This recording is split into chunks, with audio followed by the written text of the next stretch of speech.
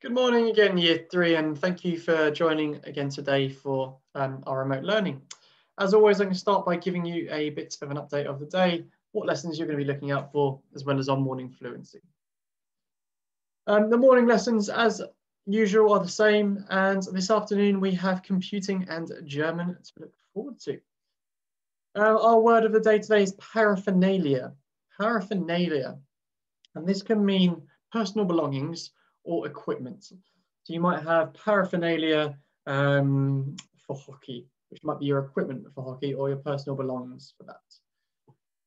Um, we are going to continue using rounding, um, and I'm quickly edit that there. It doesn't say that's appending. We're going to continue using rounding to help us add and subtract some larger numbers. And we did a little bit on this yesterday. I showed you one example. I'm going to show you one again this morning to help you with it and this time I'll do a subtraction one. So I've got 85 take away 39. I know that 39 is really close to 40. If I do 85 take away 40, that would be 45. But I've taken away one extra. I took away one more than I should have done because I took away 40 instead of 39. So I need to make sure I add one back onto that. So I've taken away the correct amount and my answer will be 46 like I said yesterday, if you found that method or find that method quite confusing, you can use the column method still. There's no problem with that. This is just a shortcut for those who might be feeling more confident.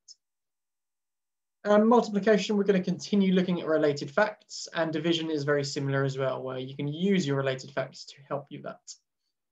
As always, pause the video here, have a go at those questions, and we'll come back together in just a moment. Let's look at those answers together then. 31 plus 49. I did 31 plus 50, which gave me 81. Then I took one off because I added one too many, and I got 80. 264 plus 198. I did 264 plus 200, which would be 464. But because I added two extra, I've got to take away two, which got me 462. 85 take away 39 is equal to 46. We already did that one. 346 take away 202. I would start by doing 346 take away 200, which would be 146. Um, but I haven't taken away enough there. I need to take away two extra. So 145, 144. There we go, there's my answer.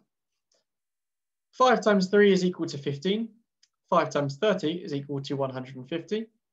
60 divided by 3 is equal to 20.